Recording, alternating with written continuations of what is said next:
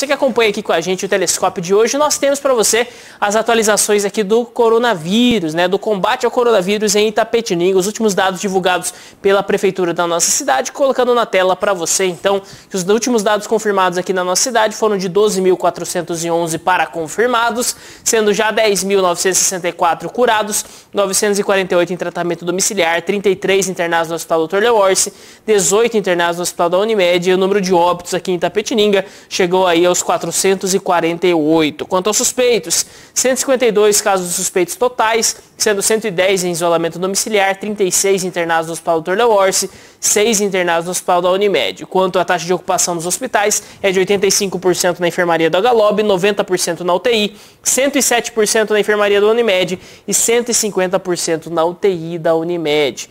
Quanto às vacinas, 65 mil vacinas já chegaram na cidade, 40 mil aplicadas em primeira dose e 19.832 aplicadas em segunda dose. São os dados divulgados pela Prefeitura aqui de Itapetininga. Eu complemento aqui esses dados trazendo para você, então, Itapetininga, desde o último boletim, é, desde o penúltimo boletim até o último que foi divulgado, ela registrou 63 casos confirmados, sendo 34 femininos de 10 a 89 anos e 29 masculinos de 5 a 92 anos. E, felizmente, nós não tivemos nenhuma, é, nenhuma notificação aí de morte por Covid aqui em Itapetininga, que continue assim aqui na nossa cidade. A semana